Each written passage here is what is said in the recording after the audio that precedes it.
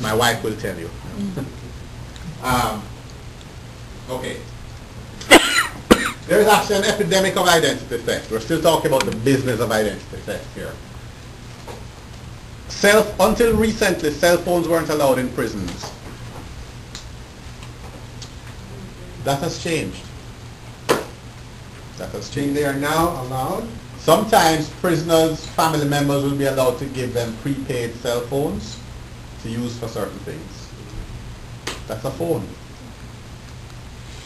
And many of the many of you have phones. I mean, mine is a very old-fashioned one. Mine actually only makes phone calls. You know. uh, but many of you have phones now that have internet access, um, send email. You can go online and do your banking activity. You have the facility in your hand to be an identity thief. If you, of course, nobody who is doing an MBA degree is going to think about doing that um, because the risks are just too high. And here's where you should all say, that's true.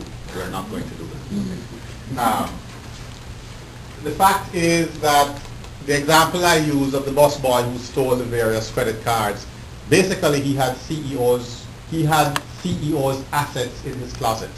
Because he had these fake, um, he had these fake cards sitting down at home that he could use whenever he needed them. You could steal, you could make a business of stealing CEO credit cards and using them, never for large amounts, but over a period of time, you could run up large bills. And this C, this conversion step, you could convert into a lot of assets. The instant credit faucet is on high right now in this country. Anybody here has never received an application for a new credit card or an invitation to apply for a new credit card? Anybody here never received one of those? Every one of you has. Two or three a week? and, and more by email probably. And the reality is that if an identity thief gets a couple of these each day in a neighborhood, fills out the application, but maybe with a change of address, now they have documents in your name possibly. It may not be quite as easy as that, but often it is. And the reason is that for the credit card companies, getting new credit cards out there and getting them used gives them a competitive advantage. So they want people to apply for new credit cards because that's their source of revenue. What they do, the business side of it is they say, okay, what's the risk of fraud, of losses to fraud? And they say it's whatever it is. How much revenue can I generate from these new credit cards? From legitimate new credit cards. And the amount of new revenue they can generate is more than the losses they're likely to incur because of fraudulent use. So they win. So they don't really have a business incentive to stop the problem at that level. Okay. The other interesting thing is that criminals are very persistent people. The good ones are very persistent. So they use a credit card and it gets noticed, they don't use it again.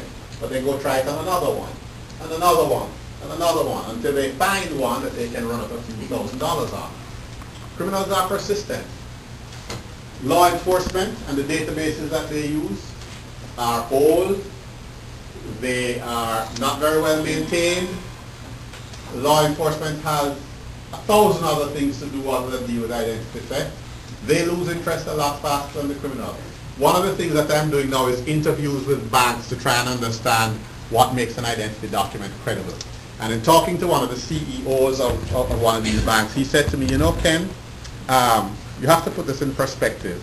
Yes, we have losses due to credit card fraud and other kinds of fraud that are related to you know, this problem of identity theft. But you have to remember, we're running a bank. So we spend maybe 10 hours a day dedicated to the business of running a profitable bank. We spend maybe one of those 10 hours thinking about identity theft and the problems associated with it. The bad guys, that's their business. They think about identity theft 10 hours a day. We're never going to win because we're just not thinking about it enough and worrying about it enough. We're doing something else. What we can do is make it a little more difficult in the hope that the, the potential thief will move on. It's like having an alarm system in your home. having an alarm system on your home is not going to prevent burglaries. But it may make it a little more difficult, a little more dangerous for the thief to come in. And so they'll try the next house down the road. Maybe they don't have an alarm system. And that's, that's basically what the banks do to try and prevent identity theft. They try and make it a little too expensive for the thief so that they'll move on and try it someplace else. So who can you trust? Well, identity theft, the business of identity theft is equal opportunity employment. You don't need to be a particular race, creed, class, color, sexual, political preference, anything. Doesn't matter. Equal opportunity employment in that business. Another true story, a Latin anthropology professor, this is going back maybe seven years now, okay, just, just to give you some perspective. This is not so recent. But giving his final exam, he'd say to the students, I need to make sure that you get credit for what you do on the exam. So I need you to put your name, your birth date, and in those days the social security number, you know, was the student number. So I need your name, your social security number, your birth date. Guess what he just did? He just acquired identity data for those students. And he made quite a nice side living creating fake credit cards and putting up um, bills on them. True story. So maybe you can't even trust your Latin anthropology professor. Of course, your your your your uh, uh, your information systems professor and your accounting professors, those are okay. Um, I told you about the skimming, the little machines that you can use to skim credit card information. And by the way, the thieves, the identity thieves will pay you for this. $10, this is true, $10 for each MasterCard or Visa record that they, um, that they skim. That's just the number? Yeah, that's what, the, that's what the going rate is as of about a year and a half ago. $15 for American Express. Why? Because American Express is a little more careful with checking transactions. MasterCard, Visa is a lot less careful.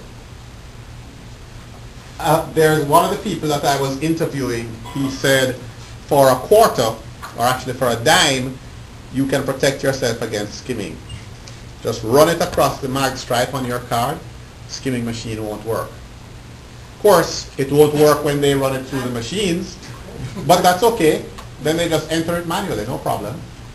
That happens all the time. You know, you run a card through, you know, the waitress runs a card through the machine, it doesn't read. They just enter the information manually. So it will work for the legitimate payment, but the skimming machine gets thwarted. John? Oh, sorry, yes. No, I was gonna ask you, um, those ten dollars, what do you do with it? They, typically there's an organized ring of identity thieves, and they'll pay you as the waiter who is giving this information. They'll pay you ten dollars for each MasterCard or you got a name the person? No, no, sorry, sorry. How do they know that they're legit numbers? You could just make up all sorts of numbers. You could, you could scam them. Well, yes, yes, you could, you That could could. be a nice scam. Uh, Yes, Scan, scan? Might get back to you. scamming the scammer, right, yes. There was actually a group of people here in Miami, Uh-huh. you know, they would get this, they will watch you when you go to the ATM or whatever, Mhm. and they'll get your code and stuff, and they will send this, they will sell or send this information to Europe, like in Bulgaria, and they had a whole bunch of people u- using. They create fake cards, yep. Right, and charging and getting money out of this, Yep, yep. By the way, but they they get a lot of money doing this. in Coconut Grove, and again, I'm sorry, Joel, I don't have an address for you. But in Coconut Yes. Grove, yes, in Coconut, and this is true, right now, today, in Coconut Grove, in Hialeah, and there's another place, again, this is coming from some of the law enforcement people that I've interviewed. Coconut Grove, Hialeah, and, no, somewhere in Little Haiti. Those three places, you can actually go and buy a Florida driver's license. Mm. But it's In any name, in any name you want. It's a fake, right? Oh, it's a It fake, could be yeah. detected as a fake. Yes. Next time, next time, or if you have your driver's license handy, I'll show you something else interesting about driver's licenses. Take a look at your driver's license, okay, and look at the number. The first, the first character in your driver's license is the first letter of your last name. Okay? The interesting one is this. There, it's normally H, in, in my case, of course, it's H and then there's three, three numbers, and then there's a hyphen, and two numbers, then a hyphen, and three numbers. The first number of that last set of three is zero through four if you are male. If it is five through nine if you are female, according to, so check, just, just because I've never actually checked this. Yeah. Check and tell me. The, your, your, your driver's license is divided up as letter and three numbers, and then three numbers, and then two numbers, and then three numbers, and then a single digit at the end. So the three numbers before that last single digit. The first of those three numbers, if it's zero through four, that's for male. If it's